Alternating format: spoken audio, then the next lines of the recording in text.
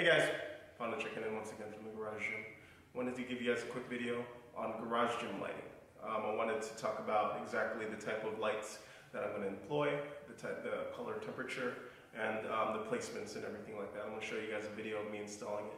Um, one reason I think that Garage Gym lights are very important in your training is that um, it definitely can affect the environment, and that environment can definitely affect your attitude when it comes to working out.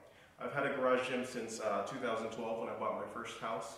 And the first things I always do is um, install uh, better lighting. You know, most garage usually comes with like one light bulb fixture, but it's really easy to turn that one light bulb fixture into several strip lighting fixtures. And it's pretty cheap. It's a lot easier than you really think. There's a lot of resources online. I'm not a I'm not an electrician by any means, but all you really need is some common sense, a couple dollars, and a couple uh, cheap little tools. So um, let's get to it. Alright guys, uh, so before I started I wanted to show you guys exactly what I've done, what the, the lights that I've placed um, during my time here in this garage. As you can see I have strip lighting over there, there's about four T8 bulbs, um, then there's two light bulbs in my garage door opener. Also there's um, another four T8 light strip there and a double that I connected with a Romex strip. Uh, when I bought this house um, almost three years ago, um, you can see that there was just pretty much a light bulb um, where that strip light was, as well as another light bulb over here. Um, and you could imagine how much darker it was. It's not really dark in this room whatsoever, but I could tell you that there's just some imbalances. There's some lighter and darker spots. And I really just wanted to put um, uh, a strip light over the bench, as well as the strip light over where I do my Olympic lifts and deadlifts right here. So I'm gonna put it right here next to that fire sprinkler, as well as on the other side, next to the opposite fire sprinkler, next to the rogue sign. Alright guys, so this is what I bought from Lowe's today. I spent about $75 on everything that you could see right here. Um, this is what I bought. This is Utilitech. Um, it's a two light wrap. Um, so I, you pretty much use two of these bulbs. It's a T8 style bulb. It's a 32 watt bulb. Um, it produces um, 2900 lumens per bulb. Um, as you can see, I already have one up there. That's a two light fixture. These are four light fixtures uh, where the light bulbs originally were. Um, so these were about $20 each. They're really easy to install. You're gonna want some, some, some Romex. This is uh, indoor wire copper cable. Uh, pretty easy to connect. All you, in a nutshell, all you have to do is connect these two. Um, uh, you have to connect your light fixture to a power source with uh, Romex. And uh, what I plan to do is I plan to connect this Romex to um, an existing light fixture there and just feed it to where I wanted to place these two new light fixtures. Exactly, pretty much where these two uh, fire sprinklers are located. All right guys, so I wanted to talk quickly about this, uh, the light bulbs that I did choose for my garage gym. As you can see right here, these are GE 48 uh, 4 foot bulbs. These are T8. Um, specifically, the color temperature. As you can see right here, these are 3500 um, warm tone. They're closer to the warm tone than they are to daylight. I feel like um, a warm tone light bulb will provide you a better lifting environment than say a 5000 um, you know color temperature. Um, to put it simply, the, the less, the closer to 3000 you are, the closer it is to say um, the, the living room, you know, the soft white, the yellowish. Um, I decided to go 35, 3500 because it gives you a little bit more warmer tone than 5000. A lot of people recommend the, uh, the daylight, the 5000 temperature, um, but it, for, to me it produces more of a you know, ultra white, bluish color. And I really don't like that. It, just makes the room feel a little bit more stark. It makes the room feel a little bit more cold. And um, I definitely don't want that. I definitely want to be a little bit more inviting, easier to the eyes and um, it's you know it's definitely a lot. It provides a warmer environment. It just it's my personal preference. I also feel that the everything looks a little bit more natural. The colors look better with um, 3500. Um, it says here it's it's for workspaces, bright white. Um, and you know definitely for me that's just my preference. I do recommend highly recommend that color color um, temperature if you want to install anything in your garage gym. And um, you know, definitely if you want to chime in, just let me know. Also, I do highly recommend that you buy one of these uh, garage light timers. These are actually, you can install these anywhere there's a light switch. As you can see, there's a 515 up to a four hour time limit. You just click one of these buttons and um, it'll pretty much stay as long as um, the buttons uh, dictate it to be. It'll automatically turn things off. I oftentimes leave the lights on in my garage accidentally. You know, I, I'm gonna install a lot of light bulbs in here. And um, if you're gonna leave it on overnight, that's just a lot of wasted energy. And uh, you know, I'd highly recommend you do automatic light switches just so you could save money on the electric bill down the line.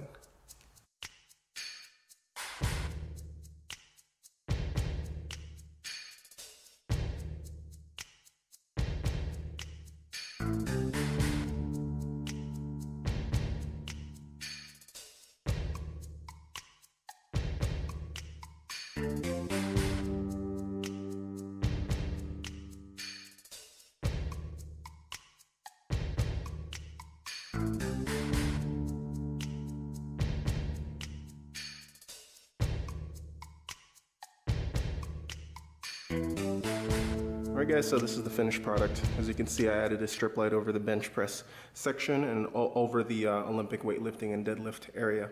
The lighting is a little bit more prominent. It's definitely a lot brighter in here. Um, like I said, the, uh, the lighting of the room definitely affects the environment, and the environment will definitely affect your attitude.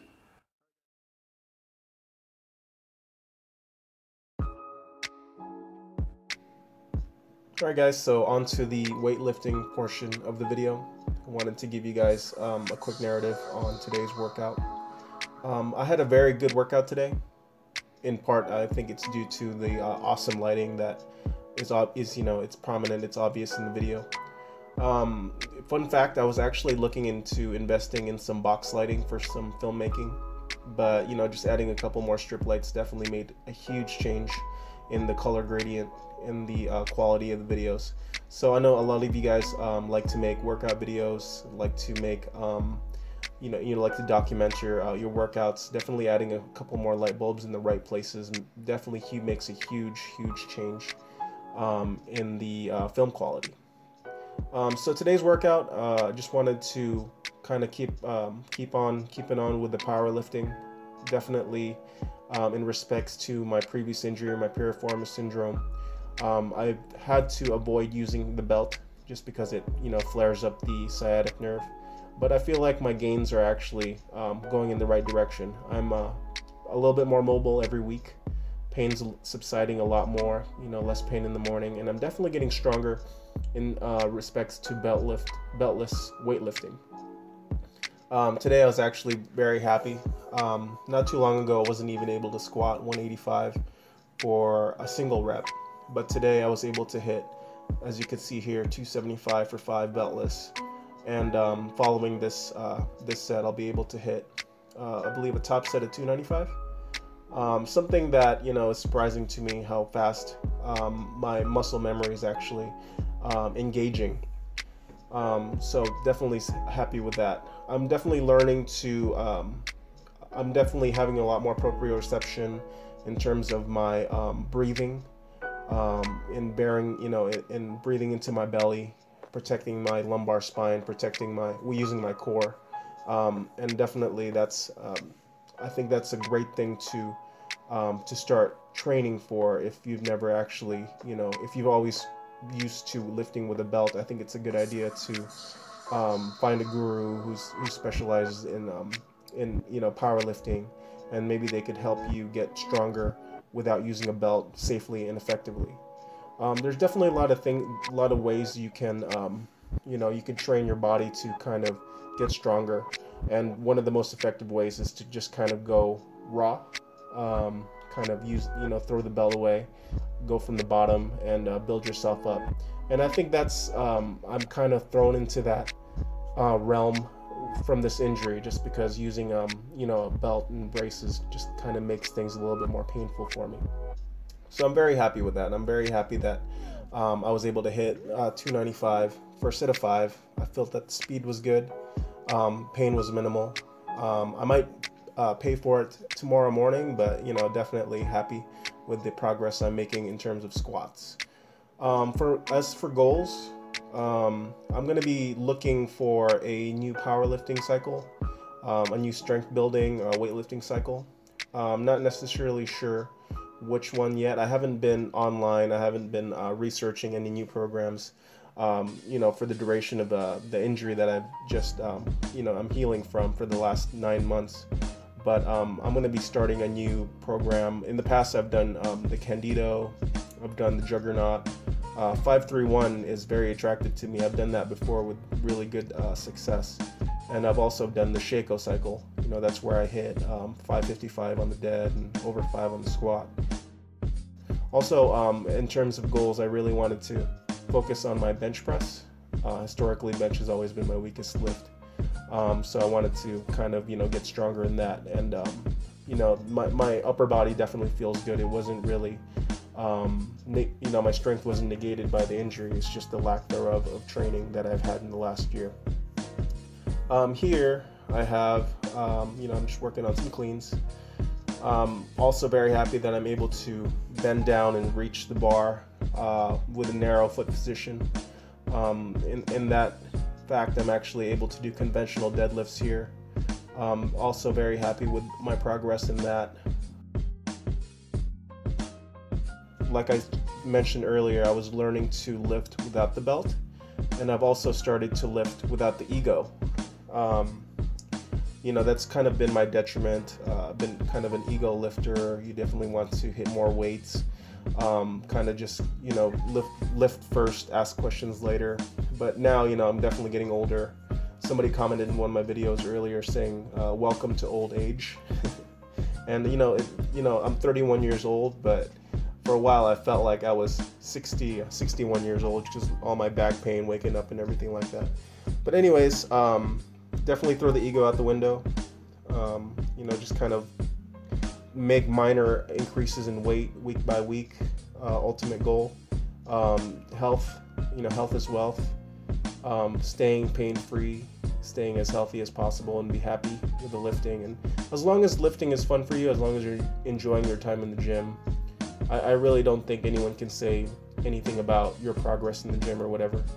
Um, lifting is, um, you know, your relationship to the barbell is it's between you and the barbell, and it's not really anyone else's um, uh, business to let let you know exactly what you know you should be doing or what should make you happy in the gym. As long as you're you're banging it out, you're enjoying your time, um, and you're, you're, you know you're making the gains that you want to make. That's definitely uh, a good factor for you.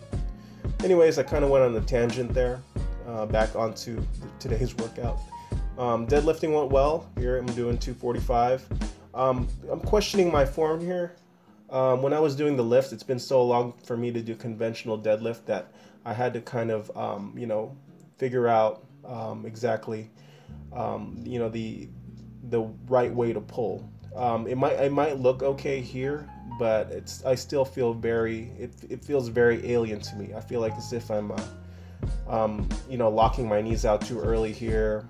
Um, and then and then the middle of my spine definitely there's like kind of a twinge. Um, when I had the, the injury that I've been dealing with recently, um, the, the left hip was so tight that it, I had mild scoliosis.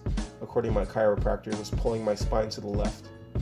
Um, so that's definitely something I'm going to have to factor in in my future workouts. Uh, definitely uh, try to avoid, you know, in re-injuring that. Um, when you injure one side of the muscle, definitely the other side could be a little bit stronger, could be tighter, could be looser. Um, so it's definitely something that I'm gonna have to keep my eye on.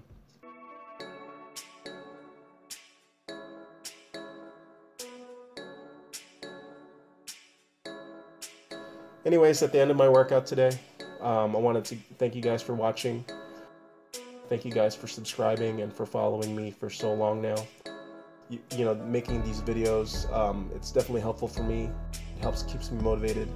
Definitely, it's uh, it's awesome to have a little community that I have. You know, all the comments and questions and uh, back and forth with you guys and messages. It's all been. It's mostly been uh, a very positive experience. All right, guys. I hope this video has been helpful. Um, hopefully, you know, um, making a garage gym and adding lighting is definitely a plus. And um, I'll see you guys next time. Don't forget to lift something heavy.